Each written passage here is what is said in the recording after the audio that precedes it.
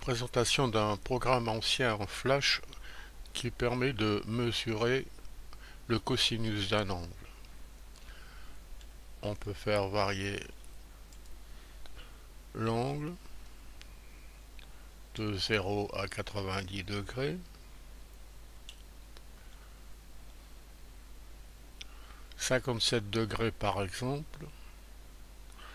Par définition du cosinus, le cosinus de 57 degrés, c'est OC sur OT, OC sur OT. Dans ce triangle rectangle, c'est le côté adjacent, dit-on, sur l'hypoténuse.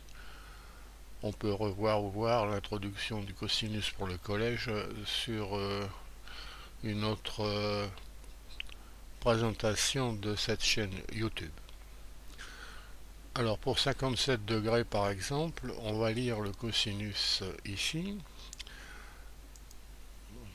Zoom. 0, 51, 52, 54, entre 54 et 55, c'est plus près de 54 apparemment. Donc on va écrire 0,54. Valider. Euh, l'ordinateur euh, trouve 0,54 etc. Donc ce qu'on a estimé, 0,54 c'est bien un arrondi au centième. Remarque, une calculatrice scientifique donne euh, un grand nombre de chiffres après les virgules également. Mais il n'y a pas de dessin pour aider à comprendre. Refaire, on peut passer en vue. Par exemple, pour un angle de 0 degré, le cosinus c'est 1.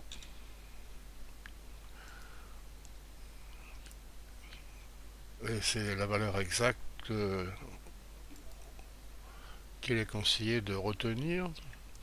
Pour 30 degrés, un angle qu'on rencontre euh, souvent, quel est son cosinus 0,86 entre 86 et 87. Je vais écrire 87 par exemple. Et on va valider. Bon, on voit que c'est encore une fois l'arrondi au centième de ce que donne l'ordinateur ou une calculatrice. Remarque que cet angle intervient souvent et son cosinus est égal exactement à racine carrée de 3 sur 2. Valeur qu'il est conseillé de retenir. Un autre exemple, un autre angle qu'on rencontre fréquemment, 45. On va aller voir son cosinus, c'est entre 0,7 et 0,71. Alors, on va écrire 0,71 ici.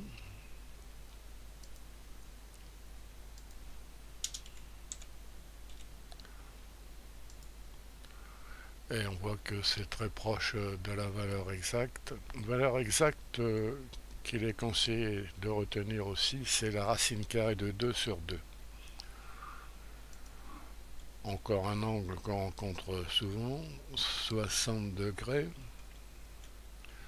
Bon, on voit tout de suite que la cosinus a l'air d'être 0,5, 0.5, validé, c'est la valeur exacte qu'il est conseillé aussi de retenir. Cosinus 60 degrés, c'est 1,5.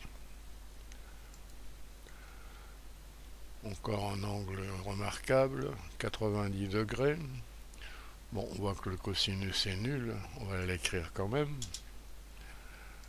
Et c'est la valeur exacte du cosinus. Bon, l'ordinateur a indiqué une valeur très très proche, euh, euh, arrondie avec une puissance euh, ne pas tenir compte de ça. Une calculatrice scientifique donnera la plupart du temps 1, ou plus exactement 0. Programme interactif à reprendre en cliquant sur le lien qui est sous la vidéo.